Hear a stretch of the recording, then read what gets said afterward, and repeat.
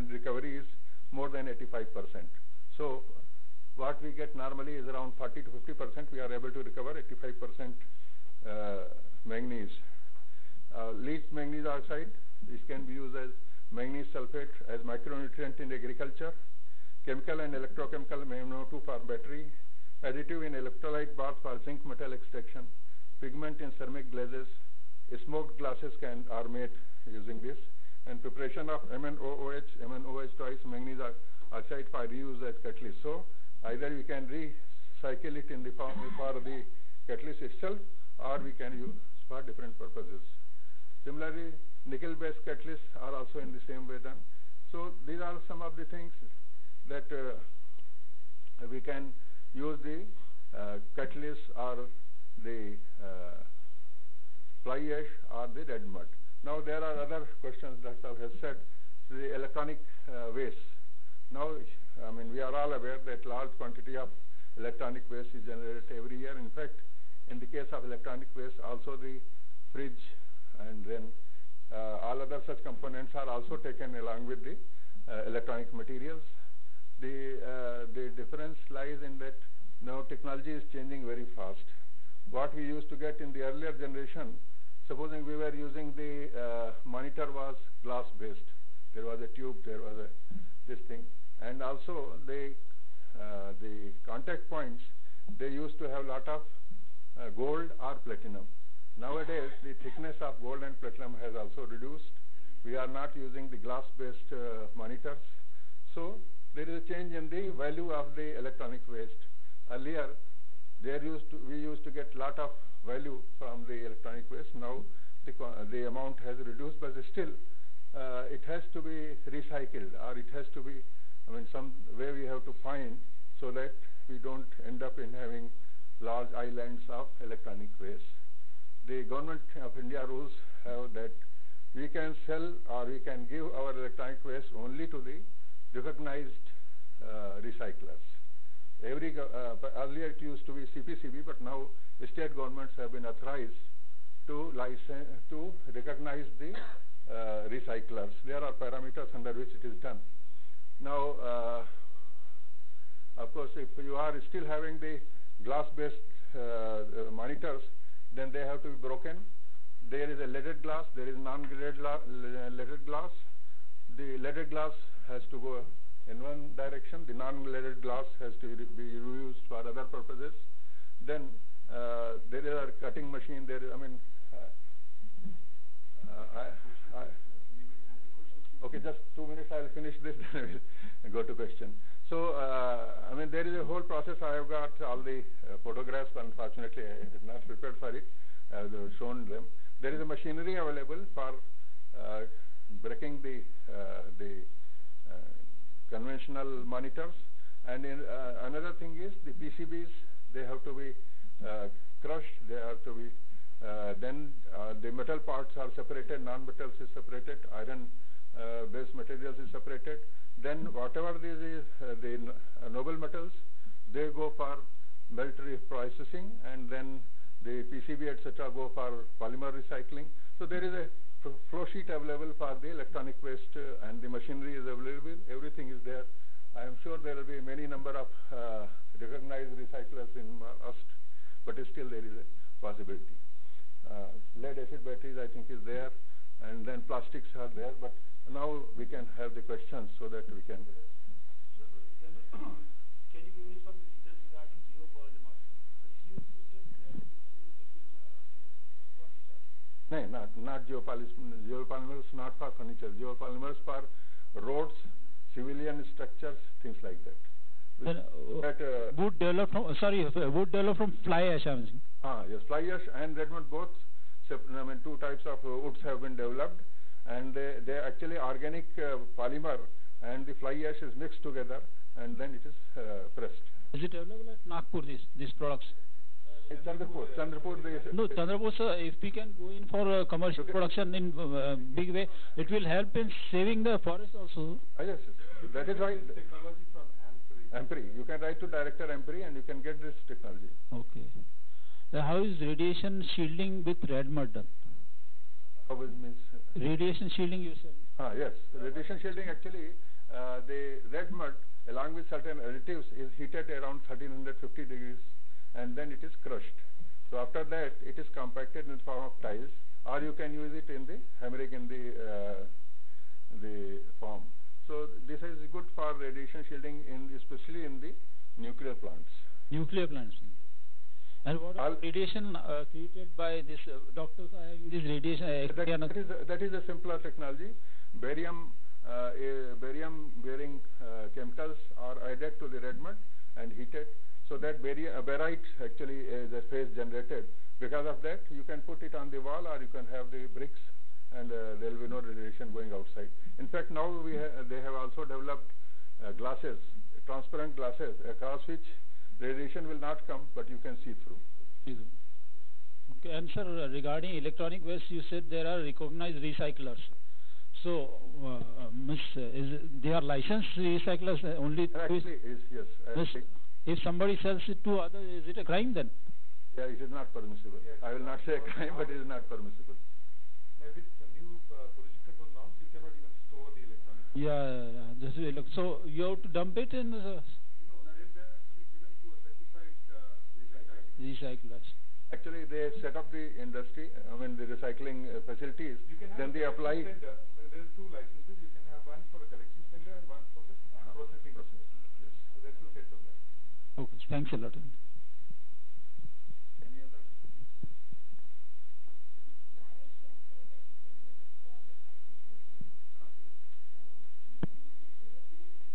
Yeah, there is a, I mean, uh, along with soil it is mixed together, I think around 20% uh, it is mixed uh, at the topsoil and then uh, you can use it directly. Of course, uh, there are a lot of uh, misgivings on this because first thing is what we understand is the coal available in India does not have any radioactive component, does not have most of the uh, negative uh, heavy metal ions, etc. So our the, the fly ash generated by our uh, coal is good, but we are also importing a lot of coal from Australia, from different countries, especially the Russian country, Russian fly, I mean the coal, radioactive elements or they contain the uh, rare earths, etc. Actually, we should know. Otherwise, this will end up in our food chain. So that is why I am a little bit concerned that I should not too much promote on the agricultural side. Uh, if there is a uh, 15 to 20 percent of uh, top soil. Supposing 8 inches you are going to have, so based on that 15 percent is to be done. The yield is very good, that I can say. The uh, it is, has been found for tomatoes, vegetables, fruits, and we have found that is substantial increase in the yield. But it has to be seen that uh, there is no harmful effect because heavy metals especially get leached and they can enter the food chain. degrade the soil also. I mean, uh, they may get leached. If they get leached, they will become part of the soil. But the uh, the advantage is that uh, some of the things, like suppose manganese is there, and some of these heavy, met- I mean, some of these metals, they are good as a micronutrients. Zinc is, supposing zinc is there, zinc is required by most of the soil in India, so they are good micronutrients. Only thing is radioactivity and some of the harmful, suppose cobalt is there, cadmium is there. In that case, it becomes a problem. But uh, we should also understand that lot of these materials we receive from China, uh, some of the micronutrient fertilizers, it was found a couple of years back that they contain cadmium. So we have to be aware of what we are using. Any other? No, two, three years, then you can again add. Yes. I think uh, there was already somebody who was uh, has asked. Uh, uh, so, uh, uh, he, Dr. Is already having experience on this. Depends on what kind of a soil you have, but uh, here you can use it regularly. Every year you can use it. And it can hold the water holding capacity and as sir has said, it can provide a lot of micronutrients also. It depends on what kind of a soil you want to put and what crop you want to put. But if you are using So only Indian an coals, of 20% of yield. This is, I want to note this. In some vegetables it's up to 35%. Ah, it's very good yield. I mean, 35% yield growth is I, there uh, when you use fly ash. So it is a wonderful uh, product or a uh, byproduct to be used in agriculture. Fly ash is also available at our power plants also. sir. power plant only. Power It is plant. That is also- Coal, uh, coal based fly ash. Coal thermal. Coal No, thermal. no. Yeah, yeah.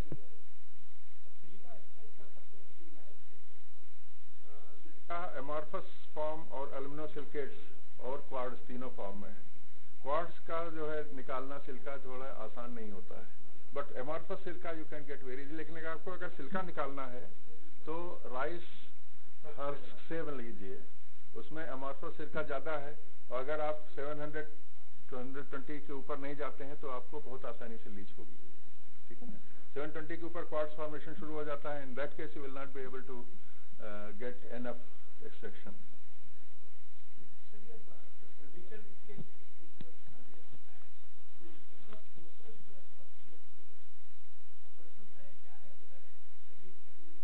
Yes, yes, it is. Uh, it is only in the SME sector.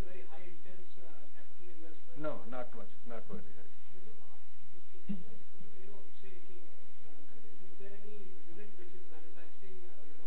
ये आपके हमाकाल मई जून में market में आ जाएगी ये अभी first first लाइसेंसी चंद्रपुर में लिया है उन्होंने और अ, हमाकाल बाई मई और June it will be in market अभी अभी हो रहा है। उनका सब जो है, अभी उन्होंने लास्ट फिफ्टीन डेज़ बैक वो मुझको भोपाल में मिले थे। तो उन्होंने बताया कि जो इन्होंने यहाँ बनाया है, उसकी टेस्टिंग वहाँ करा रहे हैं। हमारे यहाँ जो टेस्ट हुआ और यहाँ जो टेस्ट हुआ, उनकी प्रॉपर्टी सिमिलर होनी चाहिए। तो टेस्टिंग वगैरह के through it is going through और हमारा they are planning to market it in June There is a cluster uh, manufacturing this. So it is available. हाँ जी नहीं वो तो हमने आपको दिखाया ना इसके आपके फोटोग्राफ्स आप दिया जहाँ हाँ जी हाँ जी.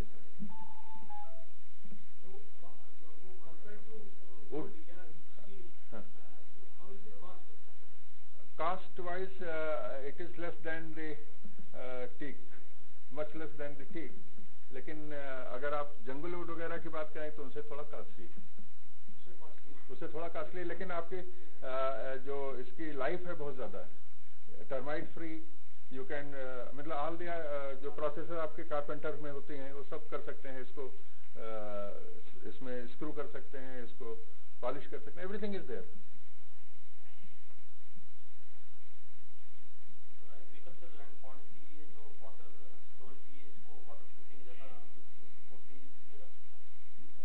फॉलो नहीं किया की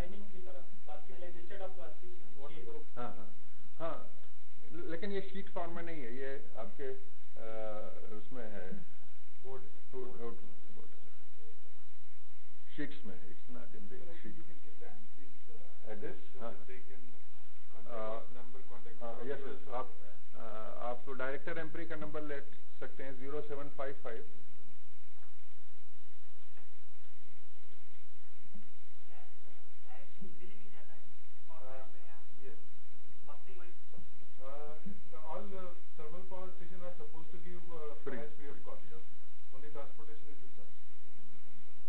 755 2457 zero seven five five वहाँ का कोड है two four five seven one zero five. Doctor doctor doctor S Das. Das, S Das. दे जो आपका उड वाला है, उसमें concern scientist is doctor Ashokan, P Ashokan. हाँ और जो आपका जैव पॉलीमर वाला है उसमें अभी डॉक्टर अमृत फले S S Amrit Phale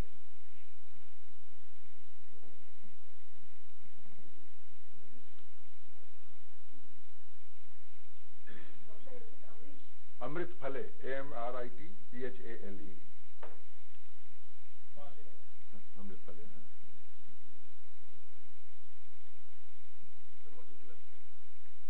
www.ampri.res.in ampri.res.in dot res dot Advanced Material and Process Research Institute, Bhopal. Dot res dot in. Uh, India.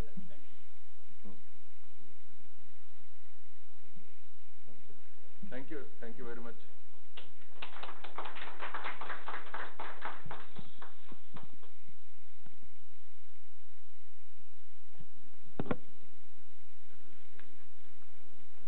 Thank you, Dr. Sam.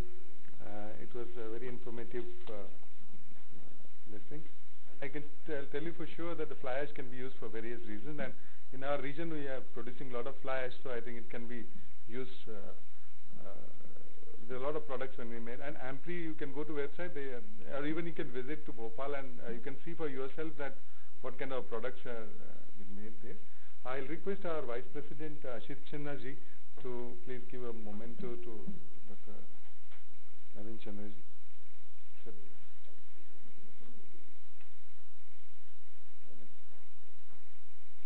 Uh, thank you, Dr. Chan. Uh, from his busy schedule, he could come. Actually, Dr. Chandra has been uh, pioneering in the biopolymer and fly ash sector. So I think you can take his number also if you want to do. Uh, yes, sir. You please do. Nine four two five three zero zero seven four seven. Nine four two five three zero zero seven four seven. And I think doctors have mentioned, uh, forget to mention, I think these biopolymers can be even for used for the lines, land mine fillings. Uh, the, uh, that's one area. You can just, uh, sir, two minutes, yeah, because there are a lot of uh, mines here in this area. You can come. Mine, uh, mine filling, uh, one thing is that if you can, there are three, four issues. One is transportation of the fly ash. When it is being sent from one place to another place, because it is so dry and so light, it uh, just flies from the, uh, the trucks. So if you, if you can spray a little bit of alkali, then the top layer becomes stabilized. Now there is a lot of problem about the uh, slope stabilization because the uh, the slopes are getting particularly in the area of Gwalior and other places where uh, vines are there. So every time then the water or flood comes, then it takes away soil. Now if we are saying that if you can put alkali and soil together in that area, in that case it will be difficult for, of course still it will happen, but it will be more safe and then the, uh, the soil erosion will be reduced. The uh, basic and more important economic thing is the reclamation of land. I was talking that uh, in the Saudi Arabia there is a, they have made a island because they only used hammering and the, uh, the fly ash does not have a cohesion property. So because of that now there is a erosion at the, uh, those places. Eh, ah, yes. Uh, right. Now, uh, there are two things. Either they should have used the lignite-based uh, uh, fly ash, because there is lime, it would have reacted with the uh, this thing, and then uh, there will be a lump formation.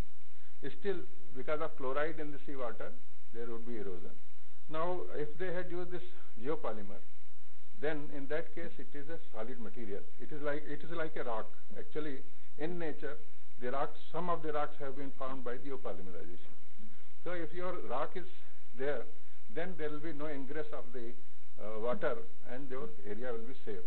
So if we want to do some reclamation in India, Bombay or other places because we are short of land, I think this material is best suited. And we should use fly ash based geopolymer to reclaim the lands. If people are interested, I think I'll be very happy to interact with them.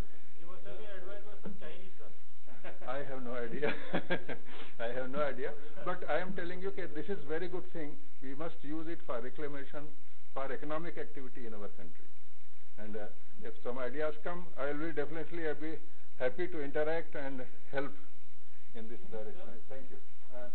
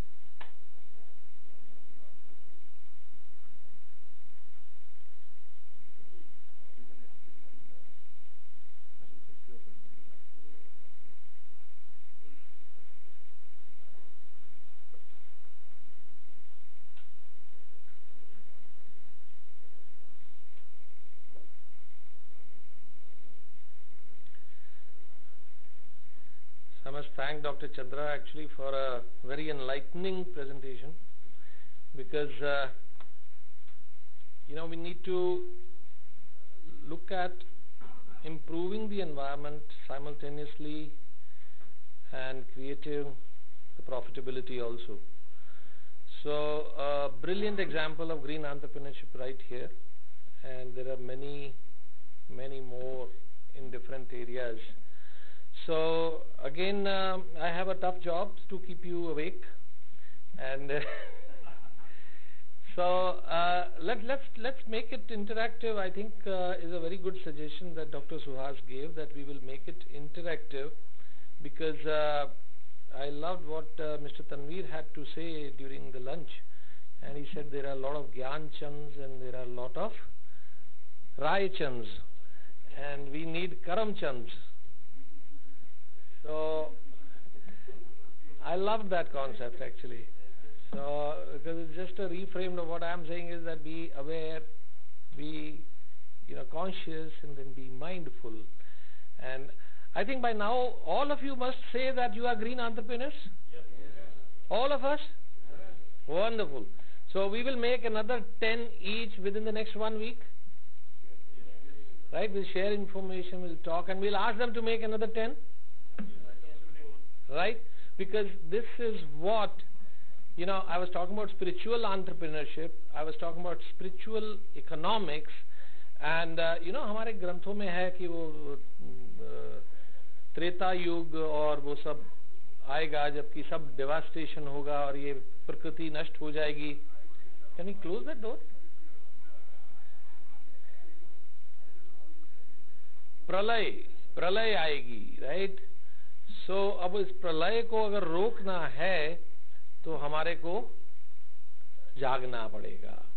और हम किसी पे ऐसा नहीं कर रहे क्योंकि अगर मान लो वो पोलर बेयर्स एक्सटिंक्ट हो रहे हैं या वेल्स खत्म हो रहे हैं तो it is just like that I am sleeping in my bedroom and I am seeing smoke in my living room will I do something because the first first thing that will happen is to the animals. In fact अगर tsunami आती है तो सबसे पहले जानवर इधर उधर भागते हैं। सुनामी आने के पहले। So animals somehow know where, what to go and you can get signals. तो अगर हम करमचंद बनना चाहते हैं तो हमारे को ये सब चीज़ों के बारे में सेंसिटिविटी बढ़ानी खुद की नहीं पड़ेगी, औरों की भी करनी पड़ेगी। तो ये वेस्ट मैनेजमेंट जो है हमारे को वेस्ट को वहीं खत्म करना जहाँ जनरेट हो रही है। No transportation green house gases खत्म करनी है। तो ये एक चैलेंजेस एंड बेनिफिट्स का जो एक सेकंड हाफ़ मेरे को दिया गया है this is something that I want you to now delve deeper into it कि इसमें चैलेंजेस क्या है और बेनिफिट्स क्या है। लेट अस सी या और आपके भी मैं आइडिया सुनना चाहूँगा your question I like to hear your what's going on in your mind I like to hear I like you to project your visualization into the year 2030 and let us try to imagine a world of 2030 together today और उसके लिए फिर क्या करना है I would like to listen to you so let's create a B plan let's create a milestones for every five years तुमको क्या क्या achieve करना है so let's talk about what are the challenges right so one second I'll just put uh, my timer because one thing that Indians have out of my experience which I have seen is sensitivity to the time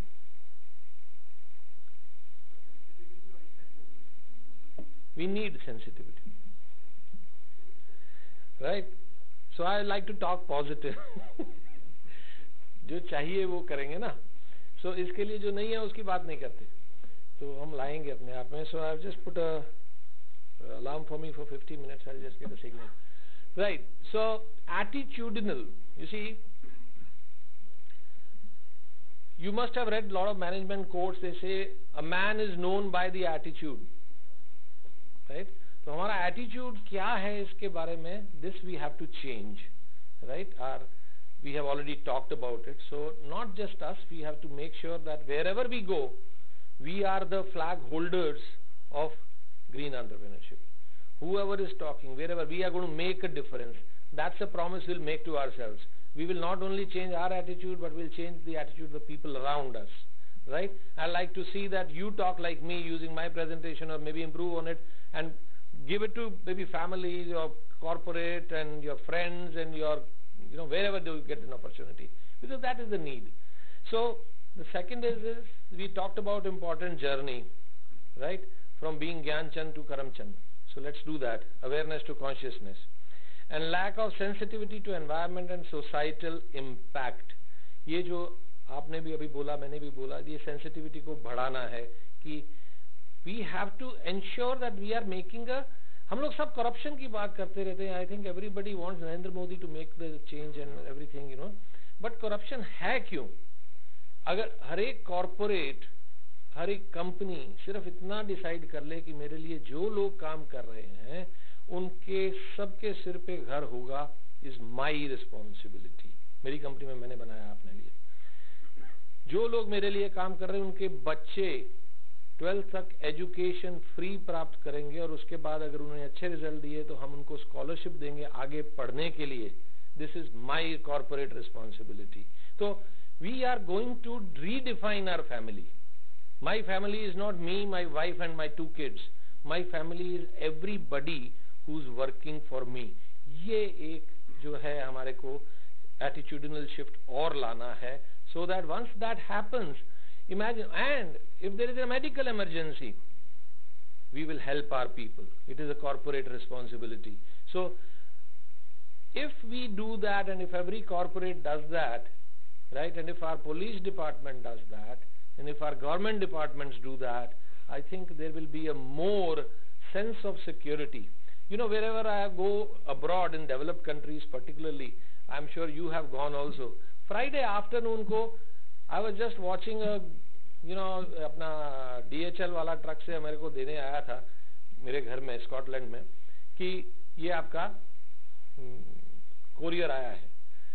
और उसके बाद मेरे neighbours को भी दे रहा था and you are singing तो मैंने मेरे I ask my son I said यार this guy is really so carefree enjoying life that you know nobody has to worry about the medical government takes care of it education is taken care of by the government of the children everybody has a home and today is a friday afternoon